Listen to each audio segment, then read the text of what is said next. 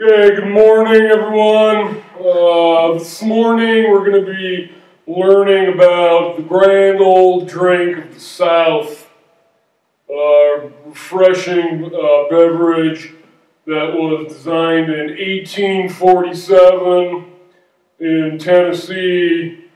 Uh, and it's been made popular through southernly sort of gentlemen uh, get-togethers and also a lot of college fraternity parties uh, throughout the country. We're, of course, I'm speaking of Southern Comfort. Yes.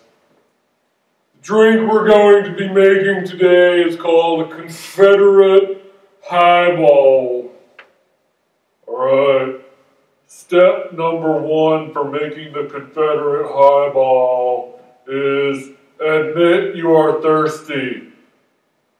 I am thirsty. Sweet Lord Jesus, I'm thirsty. Let it rain on me. Step number two is to secure a bottle of Southern Comfort. This is available for under $20 at many cash only liquor stores. The liquor store I bought this didn't even recognize a credit card being a, you can a legitimate way to, to pay for an item. They looked at me and said, hey, Velma, you want to play with a piece of plastic? You can actually find that at a grocery store as well. Yes, you can. Or some other sort of convenience store, yeah. Step number three, add two cubes to a highball or Collins glass. To crush the ice in the southern tradition. Sometimes the ice sticks together and needs to be separated out. Now would be a good time to say that today I'm actually myself going to make two separate drinks because the Confederate Highball is one of those drinks that does not have like a specific recipe. It's more of a general term for mixing Southern Comfort with other ingredients. I will also be having a twofer. There's the ice. There you go. Two cubes, two glasses.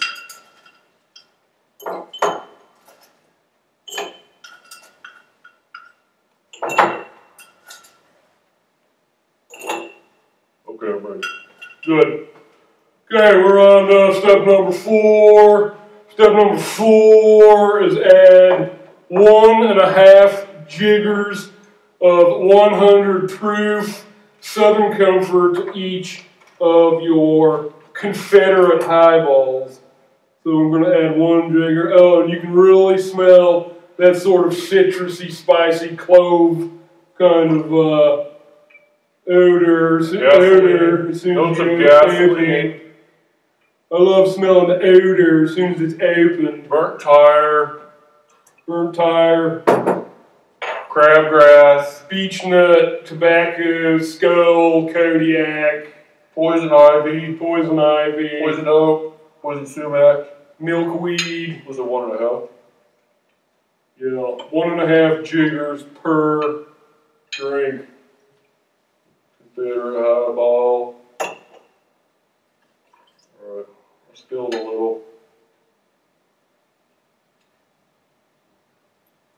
That smell I'm experiencing right now is pretty much the smell of the old South. All right, nice. Step number five, top with your favorite soda. We have uh, soda options here. What would you like for your first one? I want a twist, lemon, lime, and ginger ale. Okay, here you go. Here's the ginger ale for you. Actually, in the South, we say Coke, and then and then you say, what kind of Coke do you want? Lemon lime. And he's right. Take. So I'm going to choose cream soda for my first Confederate highball.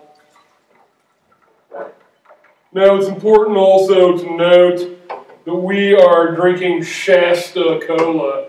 That's an independent pop manufacturer. Uh, we did not want this episode to turn into a commercial, a de facto commercial for big soda. So we are using. This is independent soda. and for my second, I'm gonna be adding cola.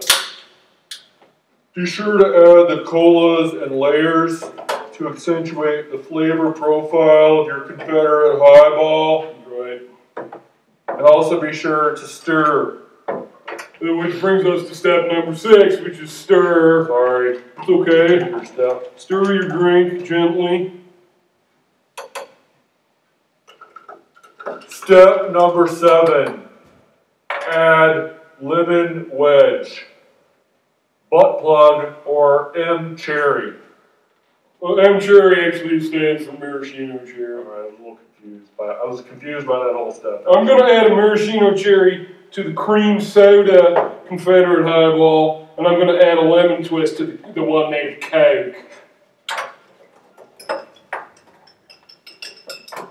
Alright, I cut off the ass Use fingers. cut off the uh, fingers. ass end of the lemon. Put in my beverage.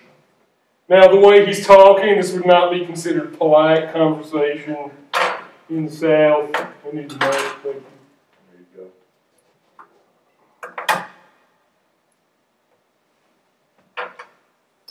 go. Also decided to add an M cherry. There we go. These are our drinks right here. Oh, you made, oh, I just added one to my cream soda. Okay, now uh, step number eight is clink glass with a neighbor. I'm not ready yet. Oh, sorry. Sorry. Still working.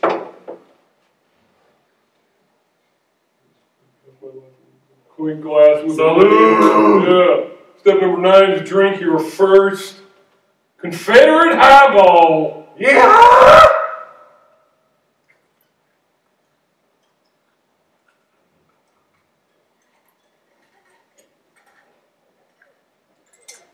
It's really delicious. I really hit the spot.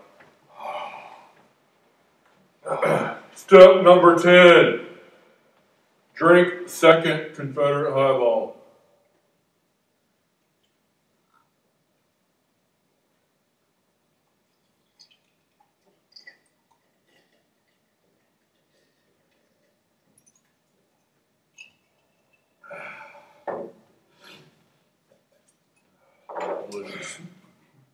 Step number 11 is eat your garnish, maraschino cherries. I guess I have to eat my lemon wedge. Step number 12 is go find a local girl wearing tights as pants. Uh, my step number 12 is going to be to finish my second highball.